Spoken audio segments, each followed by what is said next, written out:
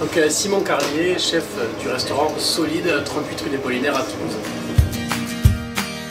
Euh, issu d'une famille de restaurateurs qui avait un restaurant à Alette-les-Bains, près de Limoux, à une heure d'ici. C'était une ferme auberge où on produisait nos propres produits pour le restaurant. Et moi au départ j'étais parti sur une formation d'ingénieur, j'ai travaillé euh, quelques années dans le domaine de l'aéronautique et de l'automobile pour revenir plus tard en 2012 suite à ma participation à Masterchef, j'ai ouvert mon premier restaurant euh, rue Pargaminière, Solide, qui se trouve aujourd'hui euh, au Carme. Donc euh, cela fait maintenant 4 ans et c'est toujours dans la veine de ce que j'ai pu découvrir avec ma famille que je cuisine aujourd'hui. la cuisine a toujours une partie très prégnante dans ma vie, puisque même durant mes études d'ingénieur, j'ai ouvert un club de vin et de gastronomie, j'ai travaillé euh, en tant qu'ingénieur, mais j'organisais des événements culinaires plusieurs fois par an euh, pour des associations, pour euh,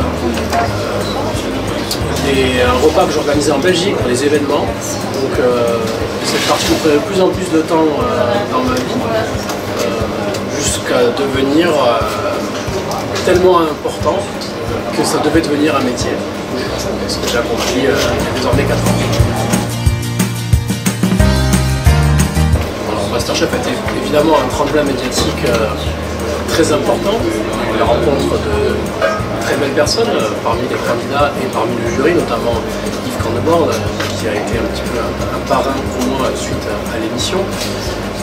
Parce que je pense que nous partageons les mêmes valeurs sur les produits, les producteurs, les personnes qui permettent d'avoir de belles choses à proposer tous les jours, c'est d'abord des jolis produits. Dans la région, on est assez gâté puisqu'on a des personnes qui travaillent très bien. Et euh, c'est quelque chose que j'ai pu apprendre euh, en voyant mes parents travailler et en voyant depuis pas mal euh, de chefs, pas mal de producteurs qui nous proposent ces produits qui sont issus de terroirs particuliers, issus d'un travail particulier, d'un savoir-faire particulier. C'est ça que je cherche à retransmettre dans ma cuisine en essayant de ne pas trop la compliquer, pour que ce soit vraiment le produit qui ressorte.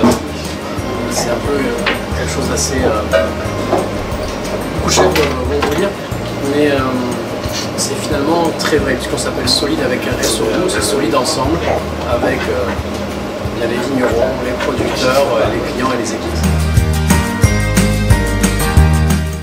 premier plat que cuisiné, c'était quand j'étais tout petit, on façonnait nos boules de pain, parce que nos parents nous donnaient du, pain pour euh, euh, remplacer la pâte à modeler.